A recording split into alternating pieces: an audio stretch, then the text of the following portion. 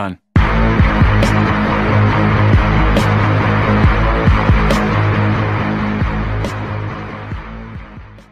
สวัสดีค่ะ วันนี้ก็กลับมาพบกันอีกเช่นเคยนะคะ วันนี้เราจะมากันที่เรื่องของแป้นพิมพ์บนมือถือนะคะ เราจะมาเอาใจสายแชทกันนะคะ เพราะบางคนเวลาคุยกับเพื่อน บางคนอาจจะสายตาไม่ค่อยดี อาจจะมองแป้นพิมพ์ อาจจะมองตัวหนังสือไม่ค่อยเห็น หรือบางคนอาจจะแบบแชทคุยกันนานๆ ต้องต้องพิมพ์นานเกินไปอาจจะเมื่อยนิ้วแล้วไม่อยากจะพิมพ์แล้ว แต่ว่ายังอยากคุยอยู่ เราก็มีวิธีนะคะคือการพูดแล้วก็ให้มันเป็นข้อความแล้วก็เราก็ส่งให้เพื่อนได้เลยนะคะ อย่างพวกใน Line ใน Messenger ไอแบบที่เรากดกดแล้วแล้วพูดแล้วเป็นเสียงเป็นคลิปเสียงไปให้เพื่อนกดฟังแบบนี้เราก็จะพอรู้กันอยู่บ้างแล้วใช่ไหมคะ แล้วก็มันจะมีอีกฟังก์ชันหนึ่งนะคะที่เราสามารถ พูดแล้วมันเป็นตัวหนังสือเป็นคำพูดเหมือนอย่างที่เราพิมพ์เลยนะคะ แต่เราไม่ต้องกดพิมพ์ให้เมื่อยนิ้วนะคะ แค่พูดแล้วมันก็จะกลายเป็นตัวหนังสือแล้วเราก็จะสามารถส่งให้เพื่อนได้เลย จริง ๆ ฟังก์ชันนี้มันมีมากับมือถือ Android ทุกรุ่นอยู่แล้วนะคะ ส่วน iPhone พี่ชมไม่แน่ใจนะคะ ว่าจะมีหรือเปล่าเพราะว่าพี่ชมก็ใช้ Android มาตลอดเลยนะคะก็เลยพอจะรู้เรื่อง Android อยู่บ้างเล็กน้อย ก็เลยเอามาแบ่งปันกับทุกคนนะคะ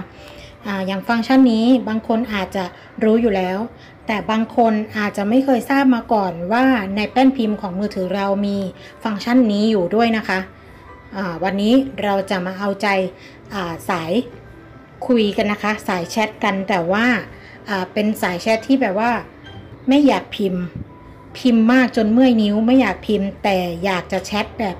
สามารถพูดแล้วมันกลายเป็นข้อความแล้วส่งให้เพื่อนได้เลยค่ะ เอาละค่ะ ก่อนที่เราจะเข้าเรื่องเนื้อหาสาระของเรากันนะคะ พี่ชมอยากจะขอให้ทุกคนที่เข้ามาดูคลิปนี้แล้ว ถ้าเกิดชอบ พี่ชมอยากจะฝากให้ทุกคนช่วยกดไลค์กดแชร์ กด Subscribe ให้พี่ชมด้วยนะคะ แล้วก็อย่าลืมกดกระดิ่งแจ้งเตือนนะคะ เพื่อที่จะได้ไม่พลาดการอัปเดตคลิปใหม่ๆ ต่อไปนะคะ ขอบคุณค่ะ เดี๋ยวเรามาลองกันเลยนะคะ เดี๋ยวเรามาลองดูนะคะ ว่าเวลาเราคุยกับเพื่อนในห้องแชทในไลน์นะคะ ว่าเราจะคุยแบบไม่ต้องพิมพ์นะคะ เราลองกดเข้าไปที่ไลน์เลยค่ะ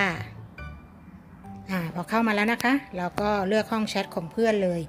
นี่นะคะ สมมติว่าเราเข้ามาในห้องแชทของเพื่อนแล้วนะคะ เข้ามาแล้วแล้วเราจะส่งข้อความหาเพื่อนเรา โดยที่เราไม่ต้องพิมพ์นะคะ เราก็จะใช้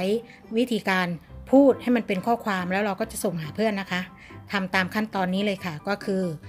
อแตะไปที่ตรงนี้นะคะ ตรงนี้ตรงเหมือนที่เราจะพิมพ์นะคะ แต่ขึ้นไปแต่เข้าไปพับปั๊บมันก็จะมีอ่าอ่า นพิมพ์โชว์ขึ้นมานะคะ แล้วเห็นไหมคะ ตรงนี้จะมีรูปสติกเกอร์ยิ้มตรงนี้ของบางคนอาจจะเป็นรูปฟันเฟืองนะคะ ตรงนี้เราก็แตะไปที่ตรงสติกเกอร์ยิ้มเลยค่ะ เดี๋ยวนะคะแป๊บหนึ่งนะคะอ่าเราแตะไปเลย แตะไปปุ๊บมันก็จะมีโชว์ขึ้นมาแบบนี้นะคะ มันจะมีรูปไมโครโฟน มีรูปสติกเกอร์ยิ้ม แล้วก็มีรูปฟันเฟือง เราก็เลือกที่ไมโครโฟนเลยนะคะ กดเลือกกดจิ้มไปที่ไมโครโฟนเลยค่ะ ตรงนี้นะคะ เลือกเป็นรูปไมโครโฟนอันแรกนะคะ กดเข้าไปเลยค่ะ ตรงไมโครโฟนนะคะ เราเลือกเลยอ่าพอเลือกไมโครโฟนเห็นไหมคะ มันจะมีมันจะมีไมโครโฟนขึ้นมาแบบนี้ให้เราพูดนะคะ เห็นไหมคะข้อความมันก็จะขึ้นตามที่เราพูดนะคะ ข้อความขึ้นแบบนี้นะคะ เดี๋ยวนะคะ ลบออกก่อนนะ แล้วเดี๋ยวเราจะพูดใหม่นะคะ เราจะพูดเป็นข้อความที่เราจะส่งหาเพื่อนนะคะ ถ้าเราจะไม่พูดเราจะสต็อปแล้วก็คือเราก็กดให้มันตรงไมโครโฟนเป็นสีขาวนะคะ แต่พอเราจะพูดเราก็กดตรงไมโครโฟนให้มันกลายเป็นสีเขียวนะคะ แล้วเราก็พูดนะคะ พูดเป็นข้อความแล้วเราก็จะส่งให้เพื่อนนะคะ เดี๋ยวรอดูกันนะคะ เดี๋ยวนะคะผู้ชมจะลองกดให้มันเป็นสีเขียวแล้วพูดนะคะ แกหายปวดหลังยังอะ่ะ นี่นะคะ ข้อความมันก็ขึ้นแบบนี้ ข้อความมันก็ขึ้นตามที่เราพูดนะคะ แล้วเราก็ส่งหาเพื่อนได้เลย พอเราพูดเสร็จเราก็แตะให้มันเป็นไมโครโฟนเป็นสีขาวแบบนี้นะคะ มันก็เป็นการสต็อปไว้ มันก็จะไม่ไม่อัดเสียงเราต่อนะคะ ถ้าเราจะพูดเมื่อไหร่เราก็กดให้มันเป็นสีเขียวนะคะ แล้วเราก็อัดเสียงพูดต่อเห็นไหมคะวันนี้ไปไหน เห็นไหมคะ ข้อความมันก็จะขึ้นแบบนี้ เราก็กดสต็อปไว้เลยให้มันหยุด แล้วเราก็ส่งข้อความนี้ให้เพื่อนนะคะ กดส่งหาเพื่อนได้เลย แค่นี้มันก็ง่าย ๆนะคะ แค่นี้ง่าย ๆ เห็นไหมส่งหาเพื่อนได้เลย โดยที่เราไม่ต้องมานั่งพิมพ์ให้เมื่อนิ้วนะคะ บางทีบางคนอาจจะสายตาไม่ดีแป้นพิมพ์อาจจะตัวเล็กจนเกินไป อาจจะไม่ถนัดในการพิมพ์ เราก็ใช้วิธีแบบนี้ได้ค่ะวิธีแบบนี้จะง่ายนะคะ เป็นการอัดเสียงในในแป้นพิมพ์ของเรานะคะ อัดเสียงพูดแล้วให้มันกลายเป็นตัวหนังสือ แล้วเราก็สามารถส่งได้เลยแค่นี้ก็จะง่าย ๆ และรวดเร็วนะคะ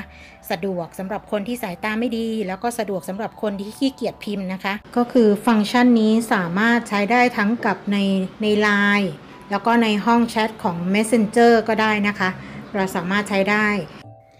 ำหรับคลิปนี้พี่ชมก็ขอฝากไว้เท่านี้นะคะ ถ้าใครชอบคลิปนี้พี่ชมก็ฝากกด Subscribe กดไลค์กดแชร์ให้ด้วยนะคะ แล้วก็อย่าลืมกดกระดิ่งแจ้งเตือนนะคะ เพื่อจะได้ไม่พลาดการอัปเดตคลิปใหม่ๆ ค่ะ ไว้พบกันใหม่คลิปหน้านะคะ สวัสดีค่ะ